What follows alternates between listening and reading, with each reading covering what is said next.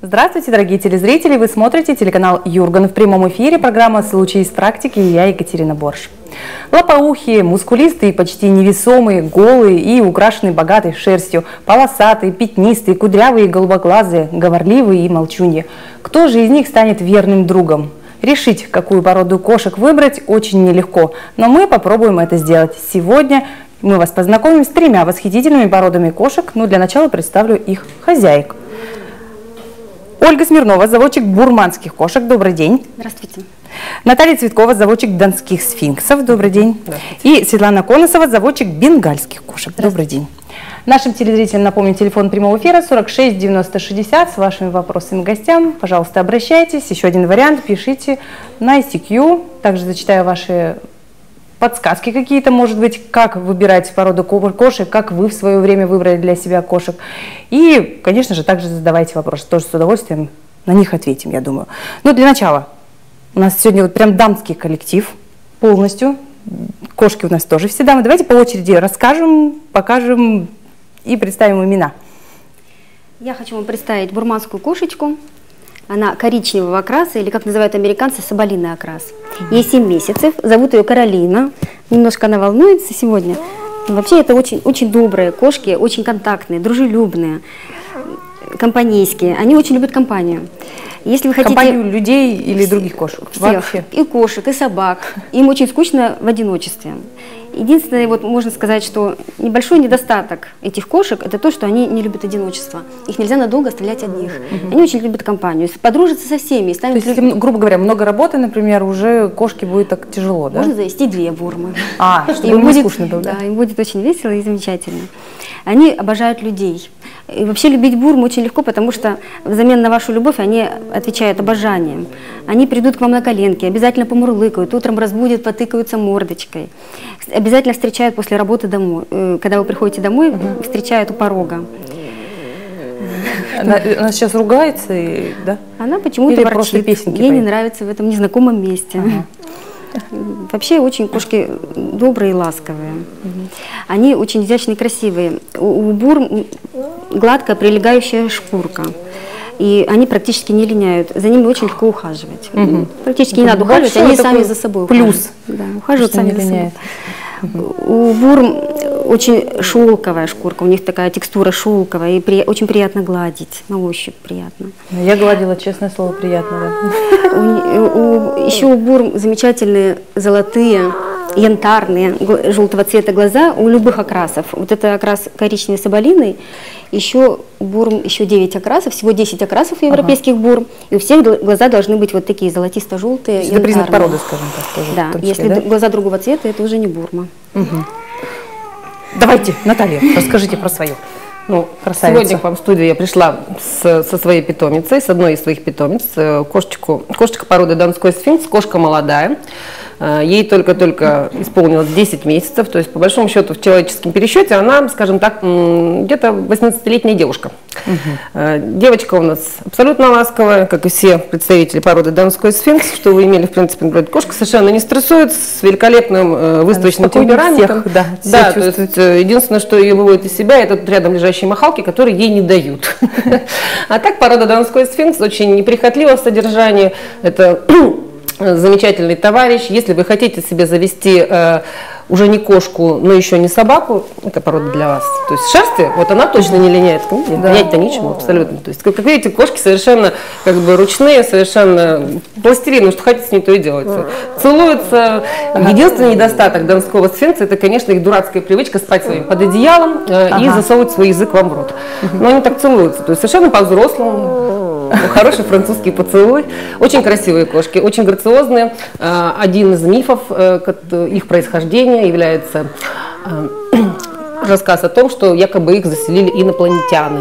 То есть, да, вид такой. Да, совершенно верно. Глаза у них совершенно неземного вида. И вообще Порода просто великолепная, и вообще я всем рекомендую держать только эту породу, кроме угу. людей, э, страдающих аллергией. Несмотря на то, ага. что кошка совершенно без шерсти, это не значит э, то, что она является гипоаллергенной. Большая ошибка людей, э, которые являются аллергиками, либо в доме есть аллергики, заводить бесшерстную кошку. Она очень сильный аллерген, то есть она очень сильный возбудитель аллергии за счет того, что, как правило, у людей аллергия возникает на фермент, содержащийся в слюне и коже животного, а она за счет отсутствия шерсти еще это больше да, выделяет, да? Да, вот эти вот э, кожные чешуйки эпидермиса отшелушиваются ага. воздух намного интенсивнее за счет того, что шерсть их не держит. И кошка является очень сильным возбудителем. То есть угу. не стоит аллергикам заводить. Вот. Помните об этом, когда будете да, собираться. Обязательно. И никогда не слушайте, когда вам говорят, что вот она лысая, она гипоаллергенная, это все от лукавого. Это ага. все неправда. Угу. Светлана, вашу красавицу. Я привела бенгальскую кошку. То есть эта порода совсем недавно появилась еще в России, но популярность ее быстро растет. У нее э, облик дикого зверя, то угу. есть она произошла от э, ази азиатского леопардового кота, плюс домашняя кошка. Э, человек, который ее вывел, это американка, это началось где-то с 63 -го года. Она полюбила азиатского леопардового кота и очень хотела потомство получить, э, чтобы они были ласковые, э, любили людей, детей, э, дома неприхотливые, но с видом дикого зверя. Угу. У нее это получилось. Эта порода признана совсем недавно, в 91 году. Сейчас же эти домашние кошки очень ласковые, они любят играть, они, эта порода очень активные. То есть они угу. точно так же дома, одним им очень скучно будет. А, любят играться. Но здесь она, конечно, не очень хочет играться, потому что чужое место. Обстановка. Конечно, конечно. Но если люди захотят бенгальскую кошку домой, я бы посоветовала сразу взять двоих. Это для того, чтобы им не было скучно, чтобы они не рвали диваны, чтобы не не катались на шторах. Не чтобы привлекая они... таким образом да, да, внимание, да, развлекая сами себя. Надо да? им их чем-то занять. То есть э эти породы очень активны. И у них игрушек должно быть больше, чем у детей. Чем больше игрушек, тем им есть чем заняться, и они не вредят вашему дому. Угу. Ну, все-таки выбор породы кошек, вот, домашнего любимца, на чем должен основываться? Вот если мы берем целиком вообще всех кошек разом, с чем нужно определиться, что нужно заранее знать, на что ориентируемся? На характер кошки, на, не знаю, размеры, есть шерсть, нет шерсти, квартира или дом, вот что нужно учитывать? Катерина, по большому счету вы перечислили все те основные параметры, на которые надо обращать внимание. Э, я не устаю повторять, э, это породистое животное, вне зависимости, кошка, собака, хомячок, шиншилла, породистое животное, угу. это роскошь. Э, роскошь не может стоить дешево.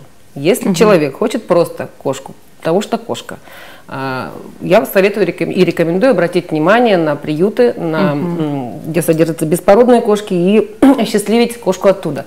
Если же человек э, поставил своей целью завести именно породное животное, породистое животное, это немножко разные вещи, то он должен для себя определиться. Первое, темперамент животного. Все породы, э, породообразующими признаки, породы а, обладают разным темпераментом. Конечно, не, это не значит, что все бенгальские кошки будут такие, все донские сфинксы угу. будут такие, а бурманские будут такие. Это нет. Но основная масса э, представителей той или иной породы да, будут обладать определенным набором качеств что по характеру, что по внешнему виду. Поэтому человек четко должен для себя решить, что он хочет. Если он хочет ухаживать за шерстью, соответственно, угу. это Кошки персидские или полудлинношерстные, сибиряки, там, майнкуны. Не то, что хочет, а готов. И го- совершенно да? верно, угу. готов, да, потому что это очень трудоемко и затратно. И ежедневные причем наверняка да, процедуры. Да, это, ну, не всегда. Ага. Эм, вот. Если человек хочет что-то лысое, вот такое экзотическое, что-то горячее, что-то такое общительное, да, пожалуйста, сфинкс. Их бывает три, три, три породы. Это петербургский, донской и канадский сфинкс. Они совершенно разные между собой и по темпераменту, и по внешнему виду, и по тактильным ощущениям. Если человек хочет э, чего хочет. Если он постоянно хочет, чтобы у него по дому носились безумные чертенята, которые будут у него по потолку скакать, он посмотрел, там кошка, там кошка, там кошка, и у него немного кошка, а всего одна, пожалуйста, бенгальскую кошку. Uh-huh. И опять-таки человек должен определиться с бюджетом. Угу. Как я уже сказала, что породистое животное не может стоить дешево. Если Изначально. Совершенно Или верно. Пожизненно. Да. Э, содержание не столь дорогое. Ветобслуживание содержание не обходится в круглую сумму. Как правило, обходится в круглую сумму покупка животного. Потому что, повторяю, племенное, э, породистое, неважно, племенное оно, как домашний любимец, надо покупать в профессиональных питомников. Не по газетке из рук в руки, где вы открываете, там продам ведро голубых британцев, угу. рубль там 10 штук. Uh-huh. Надо покупать именно профессиональных питомников. Животное, э, котенок, для того, чтобы он был идеальным э, любимцем в доме, не создавал никаких трудностей, э, должен быть старше двух с половиной трех месяцев. Почему? Угу. Потому что только в этом возрасте кошка уже получает э, определенные социальные навыки, угу. она адаптирована социально. Да, мама так. научила ее ходить в лоток, э, точить когти где надо. Э, кошка знает, что нельзя нападать на руки, на руки. Кошка полностью привита. То есть э, вы берете как это не прискорбно, э, здесь вступают в действие товарно-денежные отношения. Угу. То есть, э, когда человек платит свои деньги, он должен как бы понимать, что он за это получает. Он получает полный набор качеств, угу. совершенно адаптированного То есть для... вы как заводчики несете ответственность, Совершенно да? верно, да. За да. То, чтобы И животное обязательно должно быть привито. Первая прививка котенку ставится в 2 месяца, ревакцинация угу. через 21 день. Поэтому, когда вам деятели от кошек начинают там петь песни по поводу того, что да сами привьете, да я против угу. прививок, это всего лишь нежелание заниматься как с, грамотно. То есть это должен заводчик сделать. Совершенно верно, да. И нельзя брать котенка с одной прививкой. То есть когда он говорит, а вторую поставите дома, это все ерунда. Э, иммунный отклик иммунитета возникает угу. после второй вакцинации с перерывом на инкубационный период некоторые. То есть, там, только после, не ближе трех не раньше трех месяцев. Не надо бояться, что вы возьмете уже взрослое подрощенное животное. Ничего подобного. Кошки взрослеют медленно. А вообще они на всю жизнь остаются котятами. Особенно это касается породистых животных. Потому что, как ни крути, но животные э, селекция которой занимается человек, все-таки выводится для человека, соответственно, ориентация на человека, ориентированность на человека, угу. это закладывается. Угу. Вот как-то так. Я напомню нашим телезрителям телефон прямого эфира 46 90 60. Напомню, что вы можете обращаться со своими вопросами. И вот одно сообщение с ICQ хотела бы прочитать.